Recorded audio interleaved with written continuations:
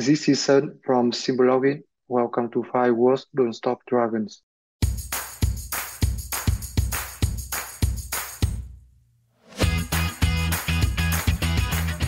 Hello, everybody. Welcome back to Firewalls Don't Stop Dragons. I'm your host, Carey Parker. Today we have episode 308 for January 23rd, 2023.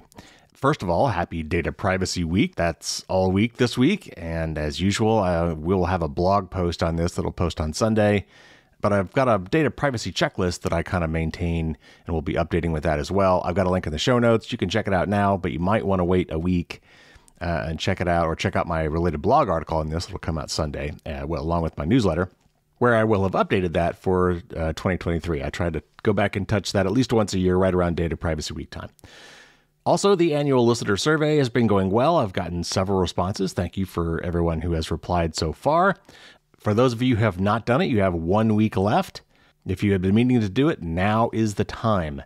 Uh, again, there's a link in the show notes to this. If you could remember it, though, it's just fdsd.me, uh, as in Firewalls Don't Stop Dragons, fdsd.me, M-E, slash survey 2023. And again, even if you like everything I'm doing, that's important for me to know because otherwise I just hear from people who want me to change things. And if you don't want me to change things, then, you know, I need to know that you like things just the way they are. You could also give me some ideas of topics you'd like me to cover or guests that you would like me to invite onto the show. So it's a great opportunity for you to not only give me some feedback, but to actually influence the course of the show. My book, oh, my book. My book is almost done. I've been saying that for weeks now, unfortunately. We keep hitting snags. There's time zone differences that are getting in the way.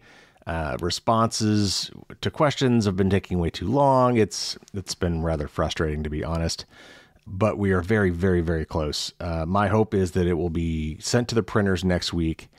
And since it's basically print on demand, I think at that point they will be globally available.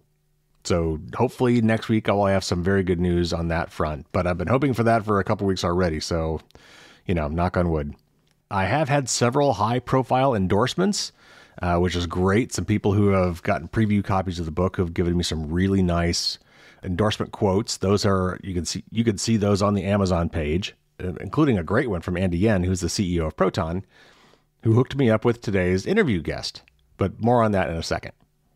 The book has been doing really well on pre-sales. It's still got this crazy over 60% off sale price. I don't know why Amazon is doing that. No one understands Amazon. Uh, but if you want to get a copy of the book or or multiple copies, if you wanted to get some from other people, now looks like a really good time to do that. Uh, hopefully, the price will still be there by the time you hear this. But seriously, this is a great price on the book. I, it's honestly better than I can get with my author discount through my publisher. I don't know how they do it, but based on some pre orders, it already cracked the top 10 in Amazon's privacy and online safety category, which is really cool and puts me in some quite good company. All right, let's get to the interview. So, as I mentioned, uh, Andy Yen, who's the CEO of Proton, who I've had on the show a couple times now, uh, actually reached out to me and recommended that I interview Son Nguyen Kim, who is the CEO and founder of Simple Login. Uh, and their company does something called email aliasing, which we're going to talk all about today in the interview. SimpleLogin has merged with or been bought out by Proton, so now they are one and the same company. And so Proton will be using the simple login service to offer email aliases to all the Proton Mail users. So, what does that mean? What are email aliases and why do I want to use them? Those are great questions. Why don't we get them answered right now?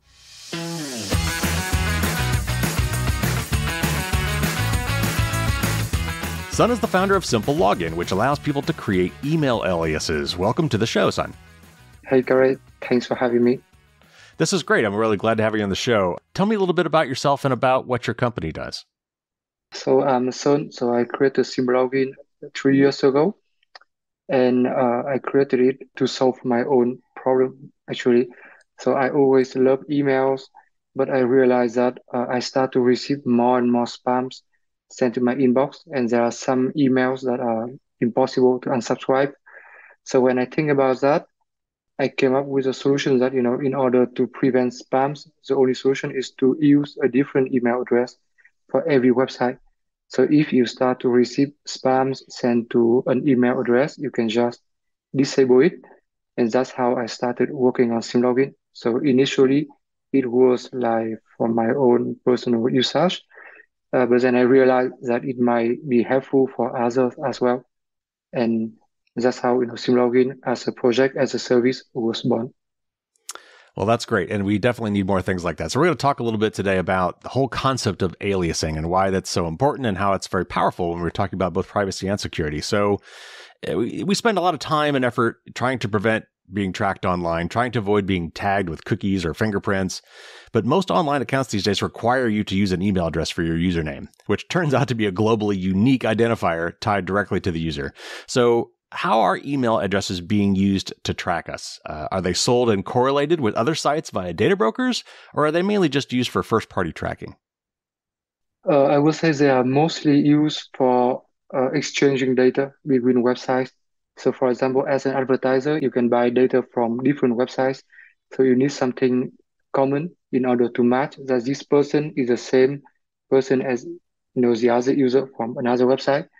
So the common denominator is usually the email address because most people have a single email address that they use, you know, everywhere. For the third party checking, I don't think email address is is required because you you know you can use your user ID. You can use the first party cookie, which is maybe easier to, to check. Mm. So in the old days, we used to be able to choose our online usernames, you know, which is why we had a lot of, you know, handles or websites like the real Jane Doe 999, you know, uh, because when there's a lot of people on a popular service, you know, common names were used up pretty quickly. Why and when did we start shifting to using email addresses for our user IDs? So I don't know exactly when, maybe it happened before, you know, I started working as a software engineer. But I think, you know, as a software engineer, I think shifting to email address is actually quite a natural move because we need something unique in order to store user data in the database. So initially we start with username, uh, which, you know, which makes things easier for, for people to sign up. But when email address becomes more and more popular and everyone almost everyone has an email address. We start to use email address because it's easier to remember and websites can always contact you via the email address. So, you know, you can use email address for both purposes to have a unique identifier for everyone and to be able to send out communication, newsletters, etc. to users later.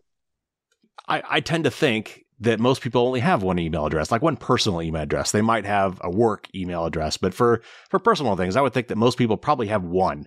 Do we have any statistics on that? Do we know how common it is for people to have more than one personal email address? Uh, so actually, I don't have you know any like hard number on that, uh, but I think most people have multiple email personal email addresses because it, they usually start with you know an old service like Yahoo uh, so you can create an email address using Yahoo, and and once Gmail came out, it mm-hmm. became very popular. It, you know, it's very easy to use. It's very quick, etc. So a lot of people then switch the main email address to Gmail. And so from what I see in my network, you know, from my friends, from my family, most people have an old email address that they mostly never use again and usually a Yahoo email address and then a Gmail address. Yeah, that describes me to a T. That's exactly what I did. I mean, there was there were other ones back in the day. There was Hotmail and AOL. I think had addresses. Back in the day, you used to get an email address from your internet service provider. So I had Earthlink accounts and I had you know other accounts that were based on my my service provider. But yeah, I, I I, started with a Yahoo address. I still have that Yahoo address. It's a four character Yahoo address, which is really hard to find these days because it's really, it's really old. And then when Gmail came out, not only did I grab one, but I thought it was so cool. And this was back before Google was a tracking company and that was a big thing. I went ahead and got email addresses for my two young daughters who is who were like 1 and 3 years old at the time. And so I reserved I created accounts in their names so that I could, you know, lock in those addresses for them. But so yeah, Gmail was hugely popular, and uh, I mean now I've got tons of them. But but that's I, I think I'm the exception. I think a lot of people like you're right. I think a lot of people have maybe changed over the years, but they probably have one that they consider their primary address, and they use that probably for everything. So, one one solution to this email tracking problem, and you've kind of alluded to this, is to have multiple email IDs or aliases. So, for most people, it's not really practical to have multiple email accounts. I mean, beyond, you know, a handful. But it turns out that a lot of email providers allow you to have more than one address for a single account. So how does that work? So yeah, so actually, uh, it's usually a hidden functionality in an email provider. For example, in Yahoo, I, I think if I remember correctly, you can create up to 100 email addresses in Yahoo. That sounds right. So yeah, so basically you can have many, many email aliases. It's just like uh, the interface is not easy to find. You have to dig into the setting page in order to find the right page. Yeah. In order to create email aliases, most of them are not available. You need to come up with a, a really long address in order for the for the address to be available, and then it's not convenient to disable an address because again you have to dig into the setting page and to disable this address. If you don't need if you don't use this anymore or if you receive uh, you know too many spams sent to this address.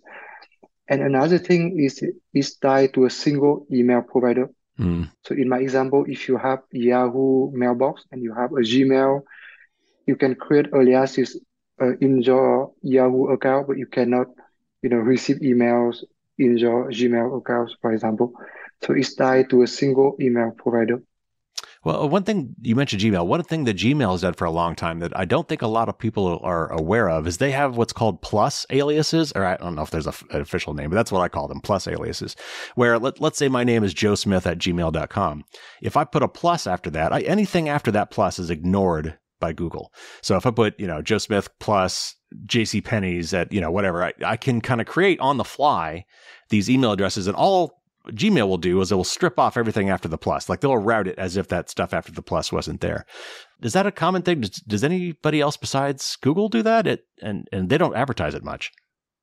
Yeah, actually, we made like a survey on our social media to ask them to ask people what was they using before you know solution like SimpleLogin exists, and actually a lot of them use a plus check like you said. So the technical term for it is sub addressing. Hmm.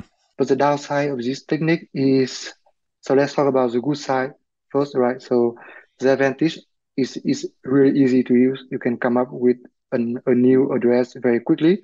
Just put plus something, a website name, whatever, and you can receive emails always in your inbox very easily. But the downside of that, at least for Gmail, is when you reply to an email sent to your plus address, uh, the reply will come from the original address mm. and not the one with the plus sign.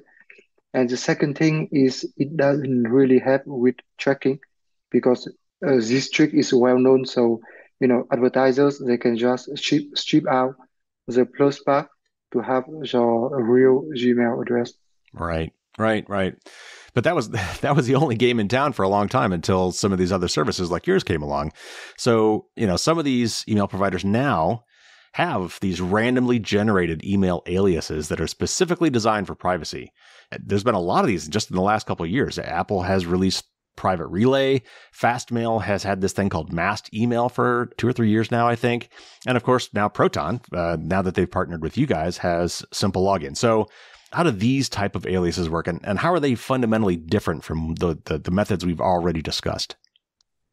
Um, so the way they work is quite similar. Uh, basically, you can create a random email address that will forward every email to your you know normal inbox. So I think Apple was the first that advertised about you know uh, generating email alias on the fly. And the fun story is uh, SimpleLogin was created around that time. Really? So actually, SimpleLogin was created before that, and and then we we we saw that Apple also came up with a solution, and and we kind of know that it will become mainstream, right? Mm-hmm. Because if Apple decides to do something, they will put a lot of marketing effort into it. Right. And, you know, it, it helps making email alias become a normal thing.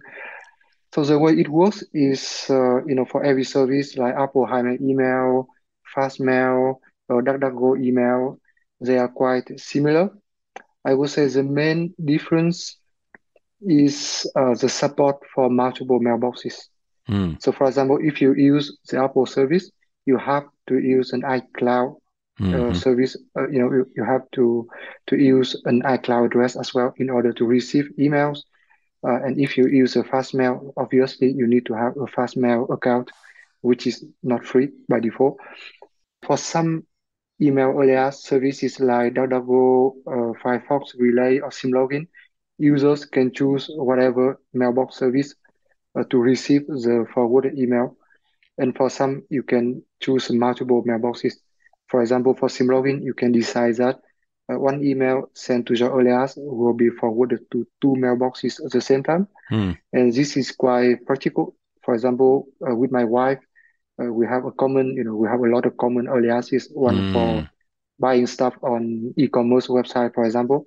So every time someone, you know, me or my wife made uh, a purchase, the other will receive the confirmation as well. So it's, it's, it's quite nice. And for example, we have a common alias for for taxes, for example, for paying taxes. Mm. So when we receive the, the tax form from the government, and if my wife uh, replies to this email asking for more information, I also receive like a copy of the mm. reply. So I know that what she's asking for, and so I don't ask for the same thing.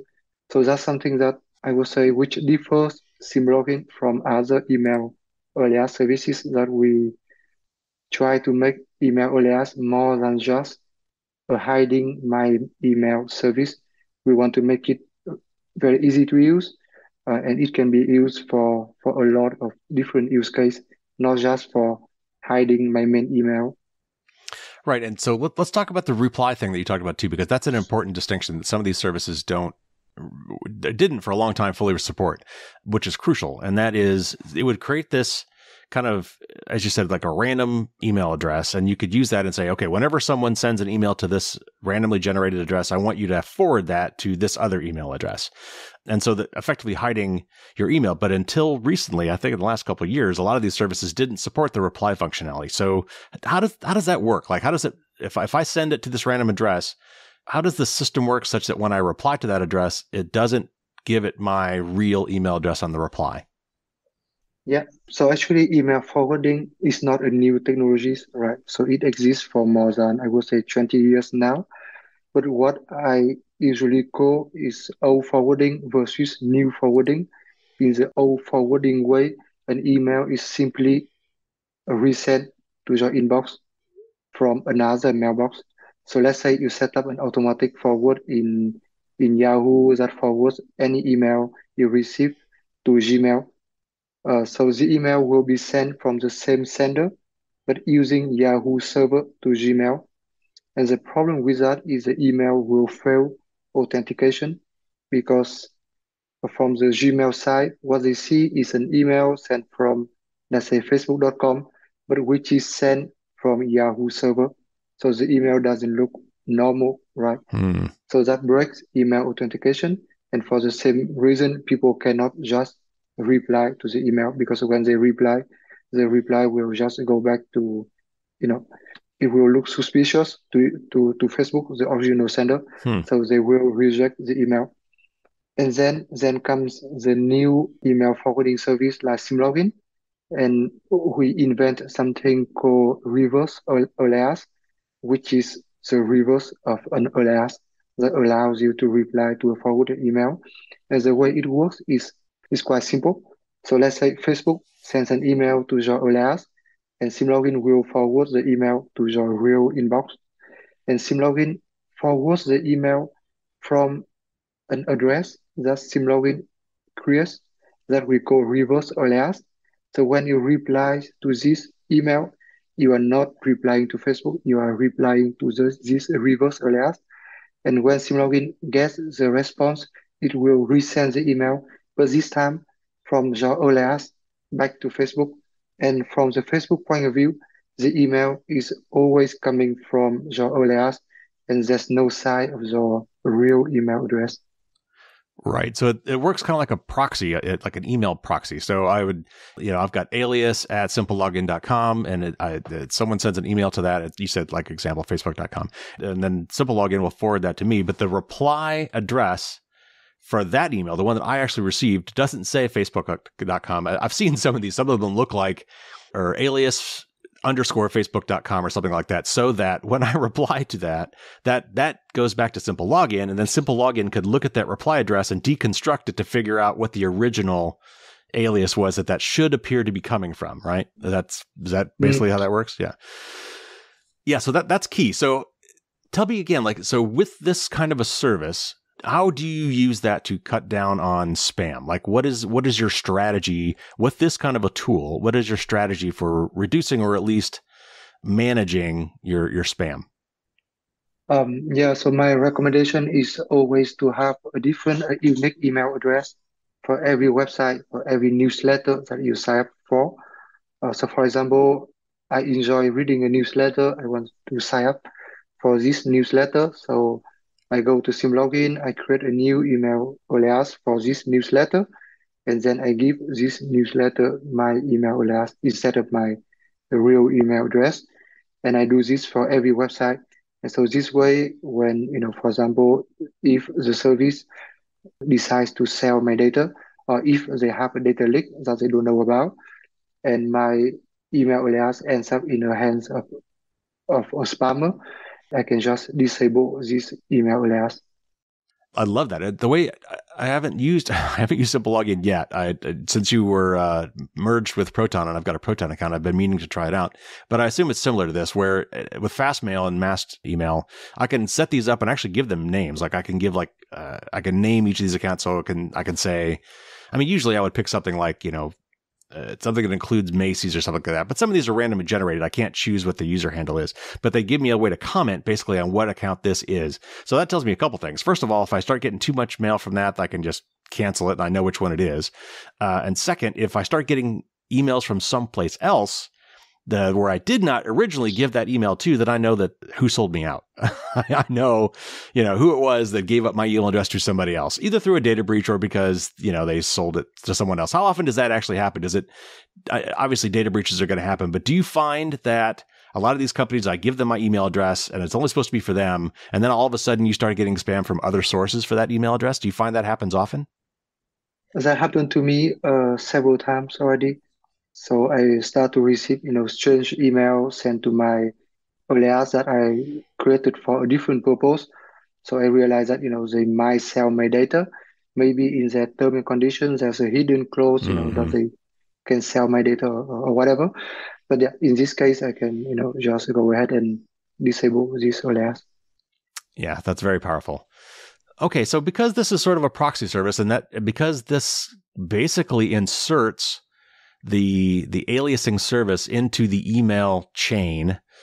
Doesn't that mean that these services are now seeing all of my emails? What what so do i have to worry about these sites from a privacy perspective? Have i just introduced a new privacy problem that i didn't have before? Yeah so technically so for example for SimpleLogin or any other email aliasing service uh, we see the emails coming in and we resend the email. So technically we can you know analyze the email content we can do things that are not, you know, ethical, let's say. So it's important to choose the right email alias service that you can trust. So we always recommend open source email alias service. So you can take a look at the, the, the code to see what they are doing and to be assured that there's no like hidden bot or backdoor behind. Right. So for people that aren't software engineers, like you and I, who might actually even go look at this code to poke around and see what's going on in there, what do you recommend to just the average regular non-software engineer person? How, you, you say to be careful who you pick. How do you, but how do you know? Like, how do I know as a regular human which of these services I can trust? So it's a, I would say it's a hard question, right? It's really hard to know which service is good and which is bad what I usually recommend is to go to some uh, privacy community or websites that do um, software reviews and to compare the the different services. They can also try, you know, some email or alias service by themselves to see which one suits them best. Yeah, that it, it is it's tough. It, it's it's so hard to know who you can trust these days, and and sadly, as we've seen several times, you, you start with a company that's maybe a private company and they started out being open source and they've got all the right ideas. And then they somebody buys them. You know, somebody or they merge with someone else or they get this massive investment from venture capitalists and that totally muddies muddies the waters and and they change. You know, WhatsApp was like that, right? WhatsApp was a a, a great private messaging service for a long time and then Facebook bought them and making all sorts of promises about what they would not do and of course, we all, as we all suspected, eventually they did started subverting it and started to market their customers.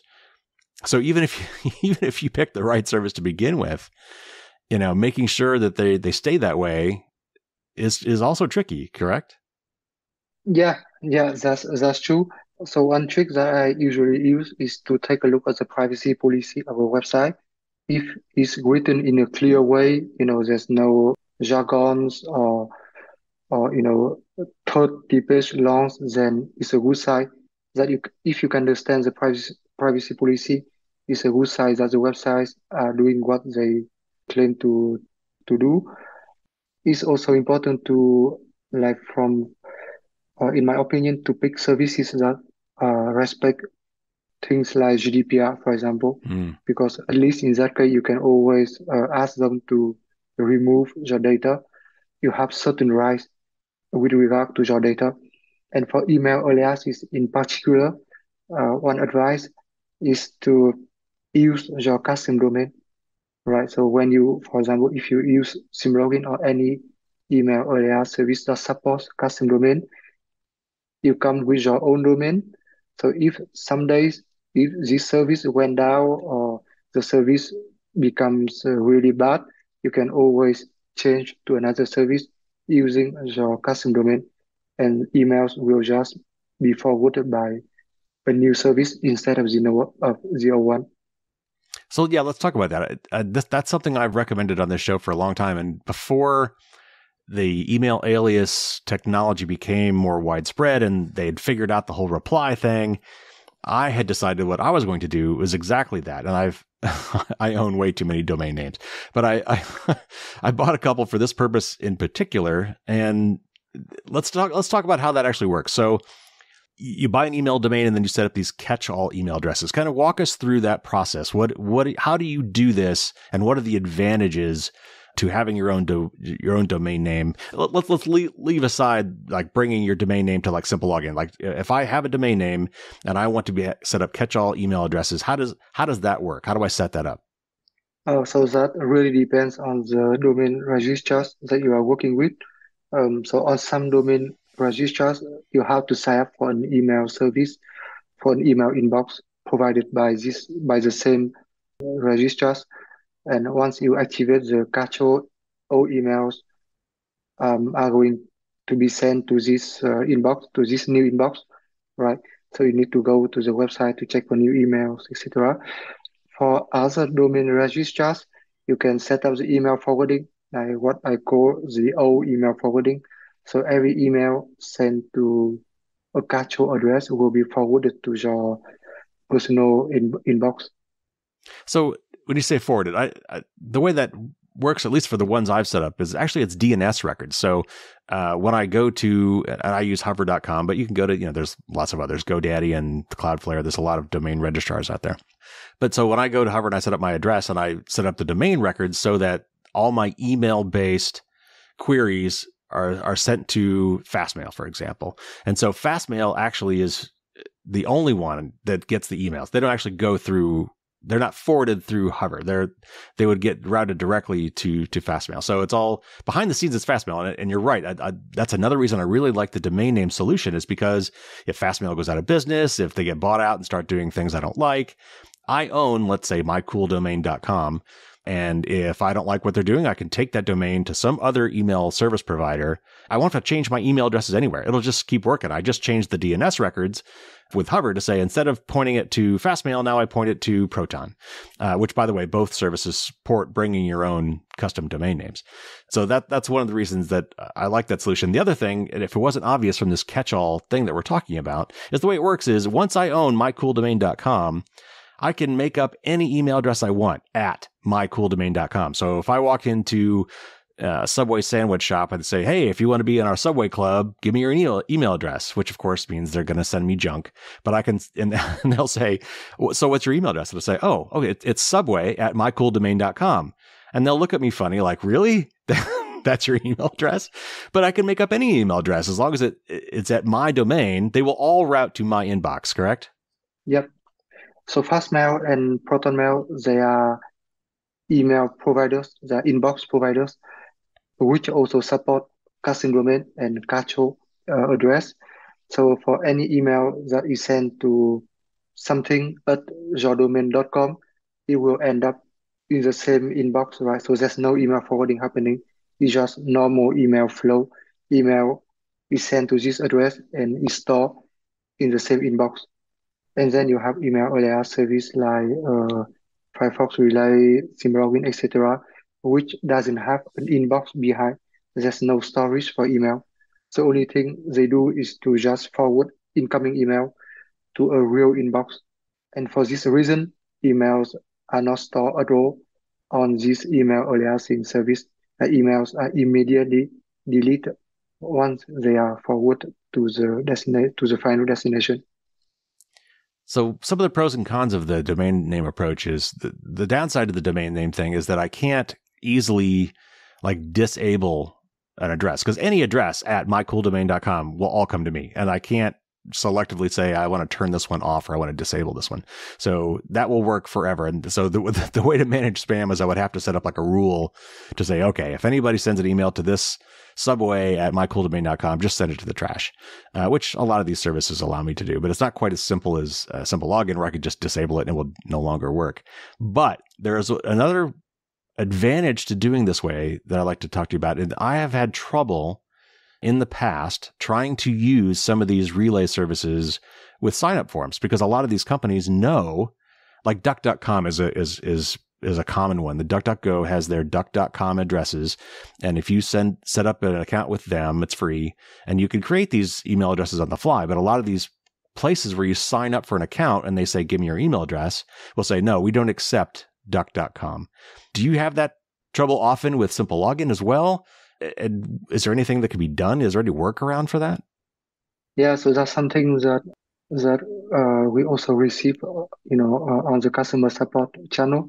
Like some websites uh, don't allow you to set using an email alias because they think that you know people who use email alias uh, may be abusing their service. So to be on the safe side, they just don't allow email aliases to be used on their website. So we are on the both side of the equation, right? We we are we are a service. We allow people to sign up for for, for an account using their email address. Um, so we want to make sure that people using SimpleLogin are not abusing it. So we understand why websites want to prevent abuses. But I but I think it's just a misconception that uh, you know people who use email aliases are abusers um, and we are working hard to to change that thinking. Uh, so the first step for us is to make sure that abusers will not like SimpleLogin. So we make sure that abusers will fight very hard to use SimpleLogin email aliases for let's say shady things, right? So for example, if they if they create thousands of email aliases to set for a thousand of uh, Netflix accounts, we want to make sure that this doesn't happen. So we have anti-abuse technologies built into our product to make sure people cannot use SimpleLogin for that purpose. Uh, and after that, we you know we come up to a website that blocks SimpleLogin and say, hey, we make sure that people don't use our service for abuse. Please unblock us. Hmm. And how often in your in your experience, how often when you go to a, these places and say, you know, hi, I am from SimpleLogin, and I'm here to tell you that we you should accept us because we have this long process, and here's our process. How often, when you appeal like that, do they do they change their mind? Uh, I would say it's a hit and miss uh, situation. So sometimes it works, sometimes it doesn't. Sometimes they don't even reply. So mm-hmm. in this case, uh, actually, in any case, we always suggest SimpleLogin users to contact the website you know, to let them know that blocking email alias is not good for user privacy. And actually it's not good for the website either, because if user has to provide their real email address, the website needs to be even more careful about data protection, right? If they lose their data, then uh, their customers can receive a lot of spams, and it's, it's not a good image for for them either.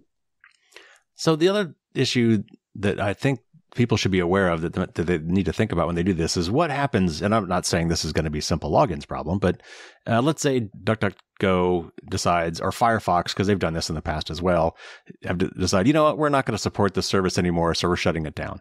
And now all of a sudden, I've got a hundred email aliases that they own, uh, and they were forwarding for me that all of a sudden stop working. I guess there's I don't know if there's an answer to this question. What do I do in that case, or how can I maybe protect myself against against that situation? And as a quick follow up, I, I somebody reached out to me and asked me if there's been a problem with this lately because they had several of these duck.com addresses that they were using that they're stopped they stopped getting emails. They stopped getting regular like newsletters and things. They just stopped working. And they were wondering if the service was having problems. Uh, so which made me think about this to ask this question. So do you have any advice for us about that particular situation? Is there a way to protect yourself from that? So it's a hard question, right? Because um, you never know if a service will continue to be there in 10 years, in 20 years. So one way to solve that is to use custom domain if to use your own domain. So in this case, you can just, you know, redirect your domain to another email aliasing service and emails will come through again in my opinion, you, it's better to look at websites that are look at services which are financially sustainable.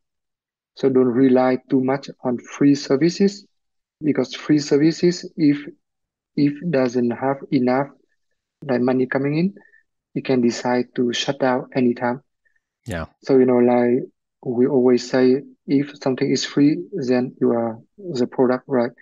So to be just be careful with anything that that is too good to be true. You know, everything is free, everything is perfect. Then there might be a cut here. Yeah, yeah, yeah. So so far we've talked about the privacy benefits and the anti-spam benefits of email aliases, but I argued that they actually have security benefits as well. For example, credential stuffing. When some service gets hacked, people are really bad about reusing passwords and most people have just the one email address. So if I get their one email address and their one password or the password that they use all the time, I have now credentials that might work on other sites as well. So talk to us a little bit about the security benefits to using email aliases, not just the privacy benefits. Yeah, you know, in a uh, in a um, in a credentials, you usually have the username, which is often an email address, and the password part. So actually, password is just half of the equation, right? Right. So we also have the email address. So if we have a unique email address for every website, then in principle, our security is increased.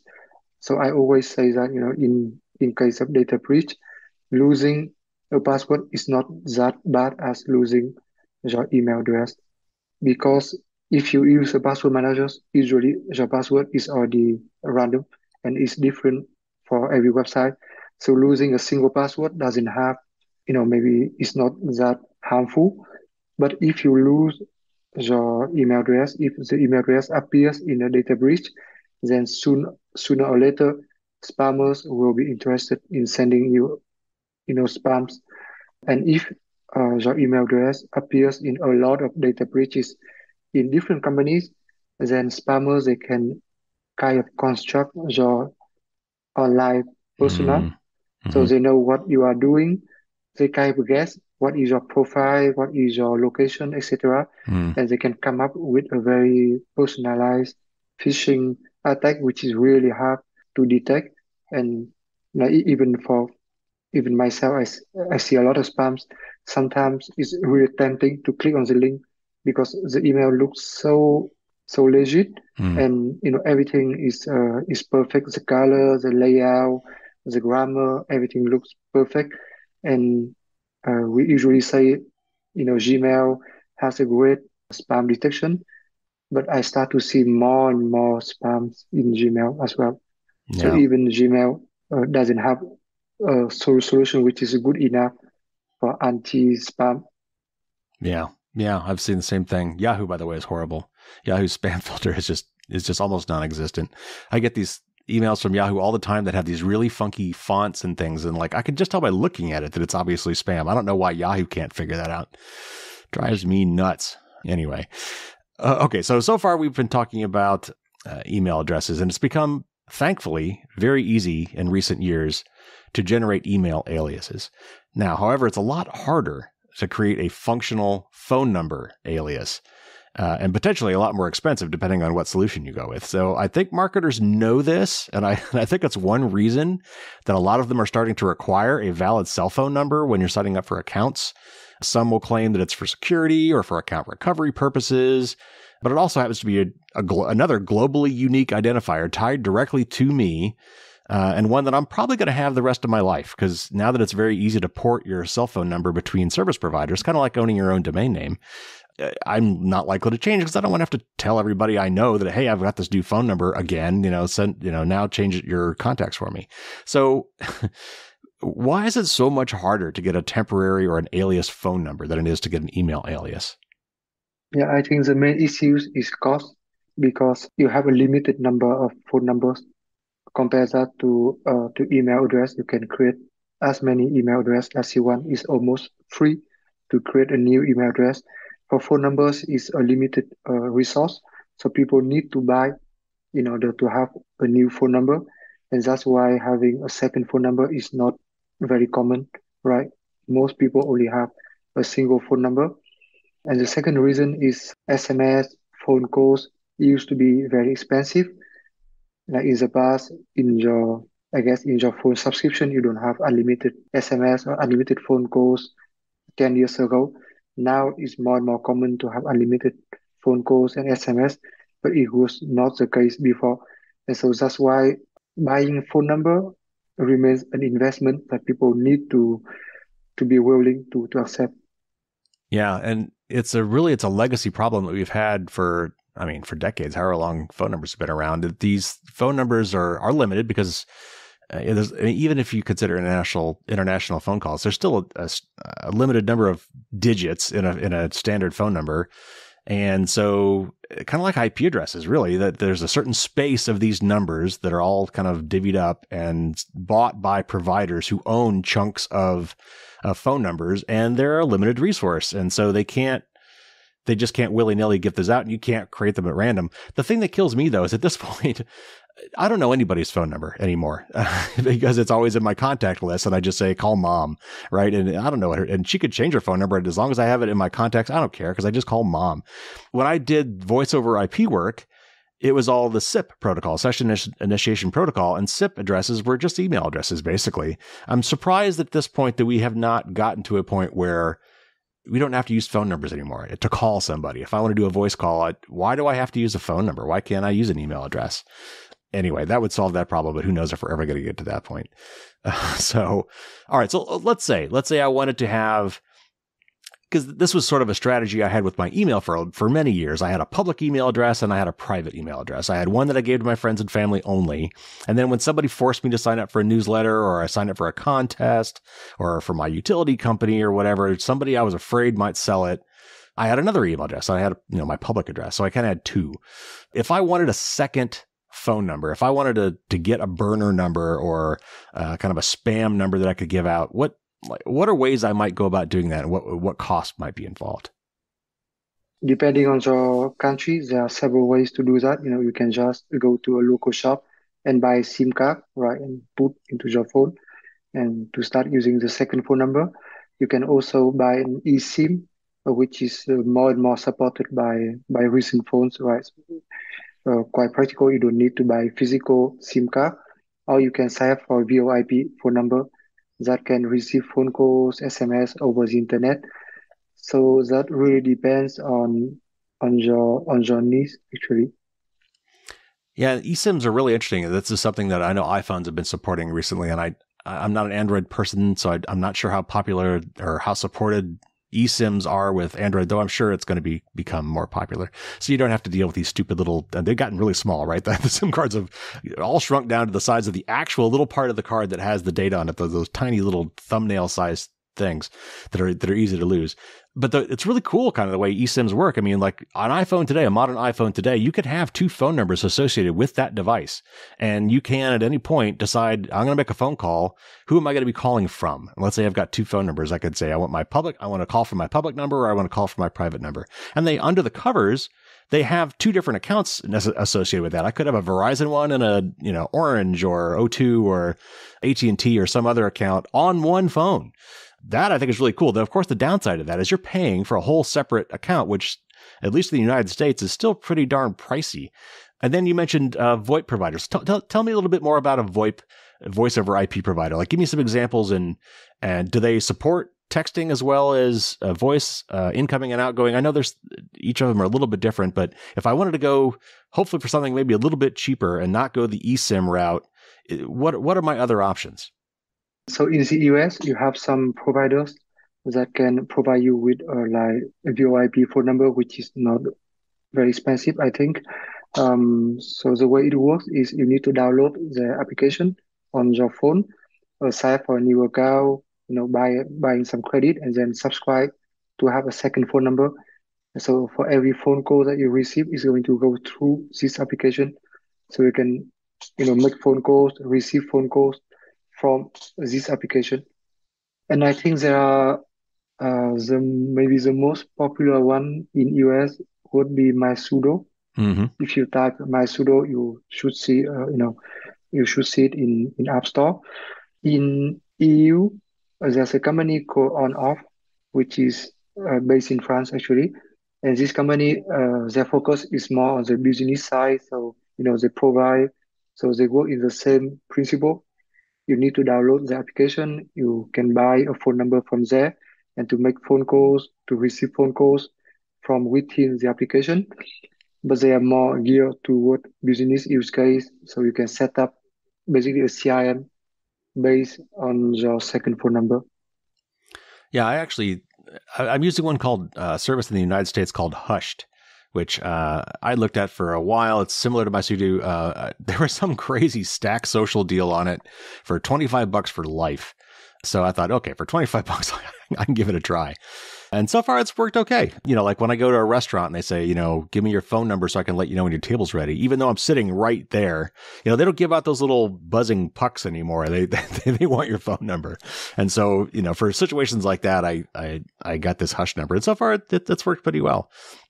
I will say though that, uh, kind of like, you know, email aliases, I have had trouble with trying to sign up for services using these these VoIP numbers or these kind of bur- burner numbers. If I if I had a, a second eSIM account, that would be fine. But I mean, they can recognize because these numbers are sold off in chunks again to these providers, and so there's become this secondary market of recognizing, oh, these are uh, Vonage numbers, or these are Ooma numbers, or these are you know pick your VoIP provider, or these are hushed numbers because they own this block of numbers. So if it comes from them, for example, I wanted to play around with this ChatGPT.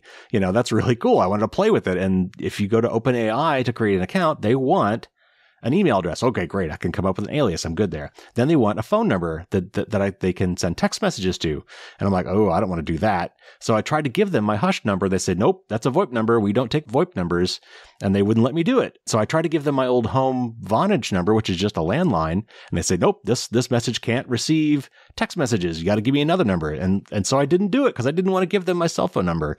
So again, it's the same kind of problem. Do you know of any tricks for working around phone number aliases to to get them to be supported. I don't know how common it is that they're rejected, but a lot of these companies are onto this and they they want your real cell phone number. Yeah, I think it's a never-ending battle, right? Websites always try to block abusers, and they consider people who use VoIP maybe potentially they are more likely to abuse their service than normal phone numbers. And I agree with you, it's a misunderstanding, and the only way to to fix that is to to change their minds, right? To make them understand that actually using VoIP is normal. Uh, nowadays, everyone has internet, so it's totally fine to have everything transferred by the internet and not using the telecom protocol. Yeah. Mm. All right. It, one more question before we go, and that is thinking more broadly. I mean, there's a whole industry now devoted to looking up public information on people. Uh, it's called open source intelligence or OSINT because we exist in so many different databases now, many of them public. Like, for example, your voting records. They can't see who you voted for, but in most states, at least in the United States, you can look somebody's voter record up and you can see when they voted, what party they were registered with when they voted. You know, property tax records. There's a lot of public information that you used to have to go down to a physical office in some county, some county clerk's office you had to physically show up when they were open, fill out some forms, and then, you know, maybe get access to marriage licenses and property records. Now it's all available online 24 uh, 7. Many of, many of these things without any, without any fee whatsoever, or sometimes just a very small fee. So before we go, as we're, as more and more of our data is online, besides what we've already discussed, do you have any other kind of general recommendations for how do I reduce or obfuscate maybe my public data footprint and make it more hard to, to, to find and to correlate all the data about me. Do you, do you have any other, but uh, any parting tips for privacy before we go? So uh, the bad news is I don't have a quick solution. Like for me, the only solution is to look for the real name, uh, you know, in a search engine, see what websites have mm. this data, and then go to every website and ask them to remove the data. That's the only way that I, I know of, and it can work. And from now on, it's always better to not use your, you know, to not give your real data uh, if you don't trust the website, right? Using email address, using um, VoIP, phone numbers, maybe temporary credit cards is recommended to leave, you know, as little as possible footprints, because otherwise, you know, websites can identify you the thing is, um, you know, websites used to track you via cookie, but now cookie is more and more banned. You know, Apple start doing that, and and and, and others follow. So after the after the cookie, they will try to find something else that will uniquely identify you. And the next thing would be email address, which is kind of logical. And after email address, it would be phone numbers, like you said. And after that, I think it would be credit card. Mm. So it's better to start now. Try mm. to not use a unique phone number or email address. Uh, maybe to have a secondary credit card. You know, for for buying things that you don't want that, that you don't really trust. For example, to avoid being you know to, to leave as little data as possible on the internet. Yeah, it's very difficult. Son, that was very, very educational. Thank you so much. It was great talking to you. Thanks for coming on the show. Yeah, thanks for having me. It was a really pleasant talking.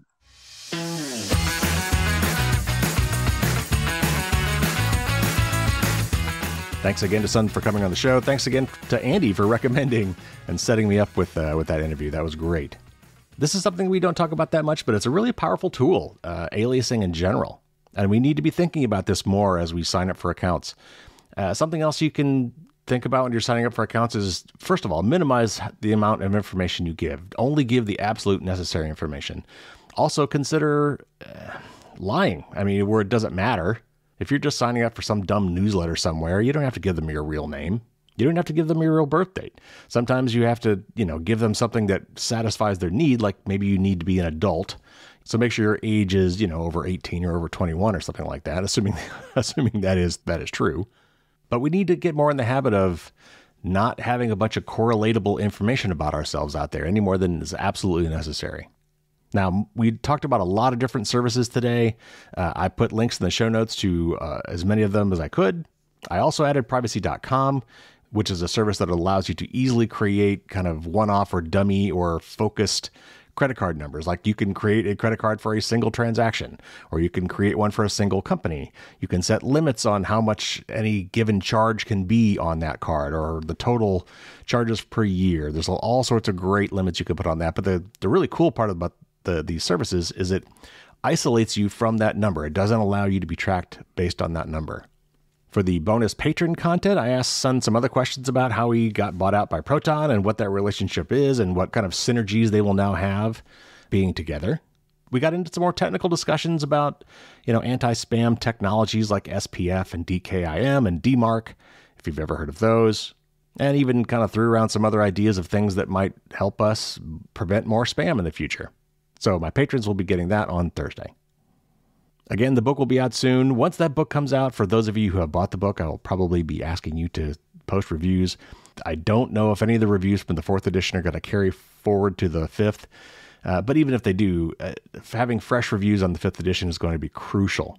So once that finally is out, I, I will probably be asking you to write reviews if at all possible.